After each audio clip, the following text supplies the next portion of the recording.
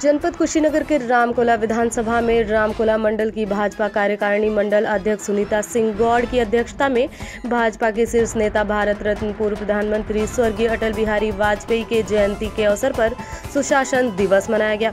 एवं आगामी चुनाव के मद्देनजर मंडल बूथ व सेक्टर स्तर पर महिलाओं को सशक्त भागीदारी सुनिश्चित करने हेतु कार्य योजना तैयार की गई। साथ ही वहाँ उपस्थित ग्रामीण महिलाओं को केंद्र व राज्य सरकार द्वारा चलाए जा रहे विविध योजनाओं से अवगत कराया गया। मंडल अध्यक्ष सुनीता सिंह गौड़ ने कहा कि हमारे शीर्ष नेतृत्व करने वाले भाजपा पूर्व प्रधानमंत्री स्वर्गीय अटल बिहारी वाजपेयी, हम लोगों के बीच में उनकी की गई कार्यों की छवि हमेशा अटल रहेगी एवं हम लोग उनके पद श्रृंखला पर हमेशा चलेंगे। एवं मंडल उपाध्यक्ष गीता गौड़ ने जानकारी दी कि लोकसभा चुनाव 2019 को मद्देनजर रखते हुए रामकोला मंडल में बहुत जल्द विशाल महिला सम्मेलन आयोजित होगा, जिसमें महिलाओं की संख्या कम से कम 1500 से 2000 के बीच में होगी।